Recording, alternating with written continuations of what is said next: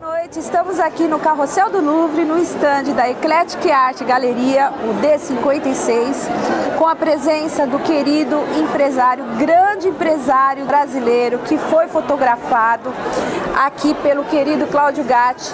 E nós queremos saber de você, Carlos Alberto Pazetti, o que você sente nesse momento, nessa hora de estar fazendo parte da série Quando o Empresário Vira Arte? Explica pra gente. É uma, é uma, foi uma surpresa é, ver esse momento dele crescendo e estar tá onde está aqui no Louvre foi uma coisa muito importante, bastante gratificante. E isso começou, esse projeto começou ah, em 2014, tem três anos atrás, e isso fez com que ele se projetasse nessas fotografias lindas e maravilhosas. São, são momentos diferenciados. Ele consegue capturar a essência, aquilo que a gente não está acostumado a fazer, aquela que está dentro da gente, mas na hora que a gente está trabalhando, a gente não vê desse jeito.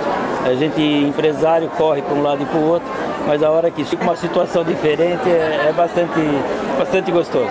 Bacana, nós agradecemos muito a sua visita e esperamos que numa próxima ocasião estaremos juntos novamente Obrigado. com a arte, com o Cláudio e com esse público francês maravilhoso. Obrigada. Gentileza, obrigado.